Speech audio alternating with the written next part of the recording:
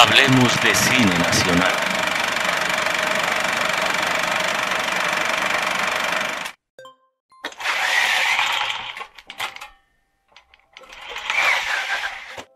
Esta anécdota comienza hace muchos ayeres, cuando el cine nacional estaba en su esplendor y apogeo.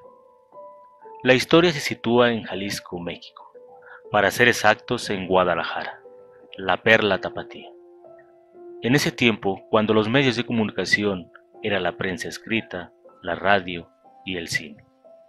Las estrellas de la pantalla grande eran más conocidas en la gran ciudad de México. Todo comienza en un pueblo al sur de Guadalajara.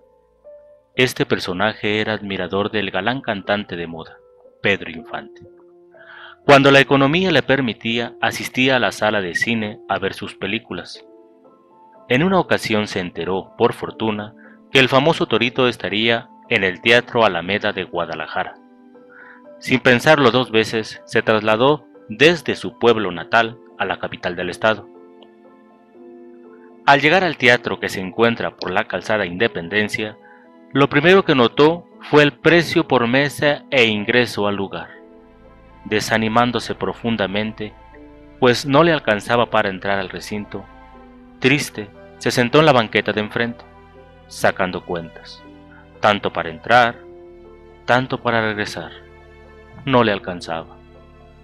Las horas pasaban y él suspirando, observando el cartel que decía, Hoy, presentación, Pedro Infante en persona.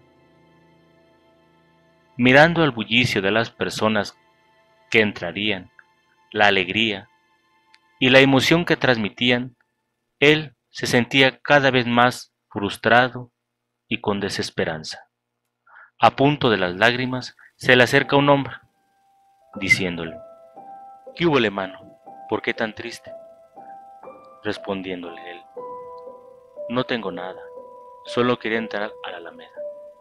El hombre le dice, pues entra. No me alcanza. Si pago la entrada, ¿cómo me regreso a mi pueblo? Ni modo de pedir limosna. Yo quería ver al torito. Dicen que actúa en sus canciones, que pareciera que está bien tomado y no. El hombre le pregunta, entonces tú no eres de aquí. No, no soy de Guadalajara. Vengo de un pueblo del sur donde hacen equipales. No, hombre, tú sí la tienes complicada, le dice. Mira, acompáñame, entra conmigo por la puerta de los trabajadores. ¿Tú trabajas aquí? le pregunta inquieto.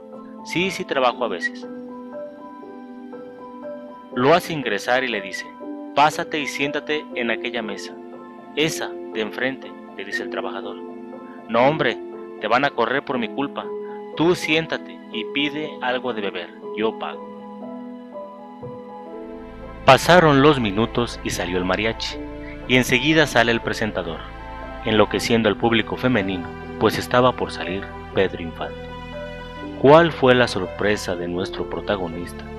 Que salió aquel hombre, vestido de charro, un traje de color verde y un sombrero de costuras doradas. Al verle su rostro, notó aquel parecido con el hombre que lo ingresó. Sobresaltándose y diciéndose a sí mismo, no puede ser, el hombre que me ingresó venía muy casual, con lentes y vestido muy normal, no parecía artista. Comienza el mariachi a tocar Amorcito Corazón. Pedro se acerca a la mesa y le dice, ¿ya ordenaste algo para tomar? Acuérdate, yo pago. Fue tal alegría de nuestro amigo que no dudó en llorar. Esta historia real es un compendio de historias que aún sobreviven en las memorias de quienes miramos al ídolo de México. Un homenaje al cantante, al artista, al ser humano.